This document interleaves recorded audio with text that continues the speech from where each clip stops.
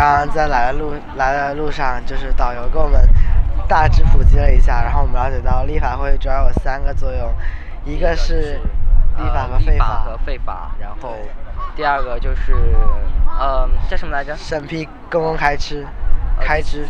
第三个就是监督的那个政府的一些工作做法，对做法。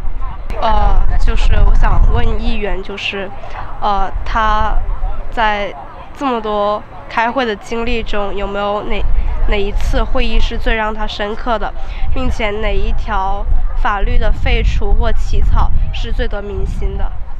呃，我想问一下，就是他为什么要要来当这个议员？他的初衷、他的目的是什么？就他当议员的目的。想要了解一下立法会跟人大的不同和区别，了解这个香港的一些历史。